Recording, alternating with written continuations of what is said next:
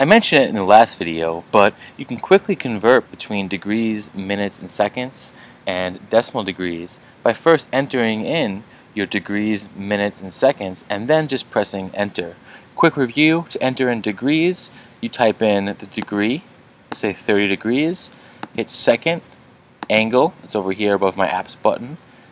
The first sign over here is for degrees, so I press 1 or just enter. And then my minutes, let's say 25 minutes.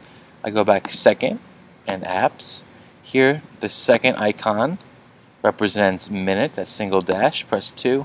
And then seconds, it could be, let's say 14 seconds. I hit alpha, and then the plus button has the little double bracket sign. And that is my seconds sign, and then I press enter, and it converts.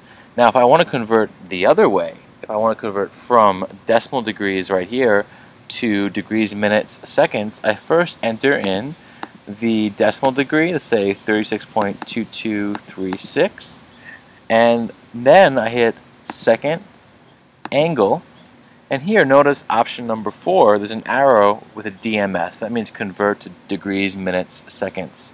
So I hit four, and then it shows me I'm converting this decimal um, degree to degrees, minutes, seconds, and just press enter and it makes the conversion for you.